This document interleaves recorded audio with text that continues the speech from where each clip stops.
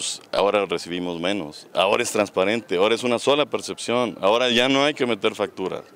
¿Sí? Y el que apoya a la gente, que lo vamos a seguir haciendo, y el que tenga que viajar por cuestiones de trabajo, los diputados que viven al interior del Estado, porque ahí están sus distritos, y que tengan que viajar a San Luis Potosí, pues ya lo pagan de su bolsa, ya lo pagan de su sueldo. Entonces, de alguna manera es insisto, transparentar, ordenar las finanzas y ya existe una reducción desde el momento que percibimos menos de lo que percibíamos antes.